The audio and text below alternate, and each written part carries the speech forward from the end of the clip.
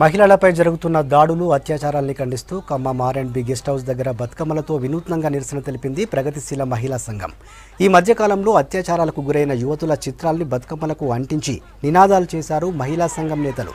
అభం శుభం ఎరగని చిన్నారులపై అత్యాచారాలు జరుగుతుంటే సమాజం సిగ్గుతో తలదించుకునే పరిస్థితి వచ్చిందన్నారు ఖమ్మం జిల్లా పీఓడబ్ల్యూ నాయకురాలు శోభ. నిర్భయ చట్టం అమల్లోకి వచ్చినా పరిస్థితులు మారడం లేదని ఆవేదన వ్యక్తం చేశారు ఖండించండి మహిళలపై జరుగుతున్న అత్యాచారాలను బతుకమ్మను ప్రతి ఏటా కూడా ఇంటి ఆడపడుచులాగా ఆ ఆడబిడ్డలాగా భావించి బతుకమ్మ పండగ జరుపుకోవడం అనేది జరుగుతుంది. కానీ ఆ ఆడబిడ్డ అనే ఆ స్త్రీకి రక్షణ లేని రోజుల్ని మనం చూస్తున్నాము.